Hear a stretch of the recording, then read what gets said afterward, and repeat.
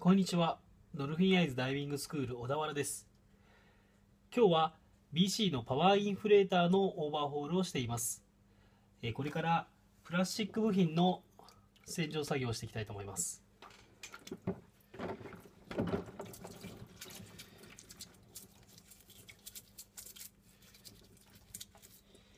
えー、プラスチック部品は洗浄液につけて洗うことができません。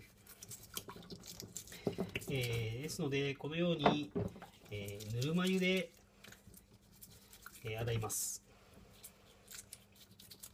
歯ブラシなんかを使って、え洗っていきたいと思います。